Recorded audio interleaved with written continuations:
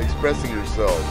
This is the way to do it. You know, you pick a nice, ugly block wall and turn it into art.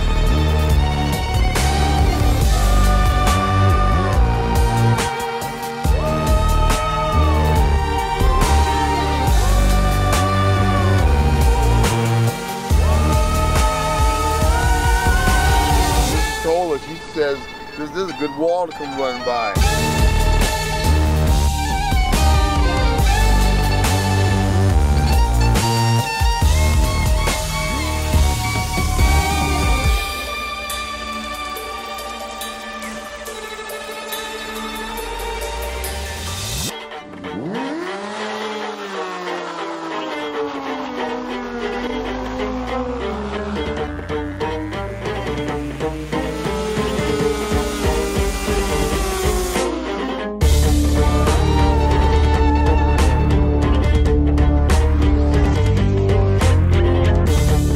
Protection, man. Keep your gloves on. Don't breathe the fumes, and be careful with it because it'll, it'll, it'll bite you later if you don't watch out.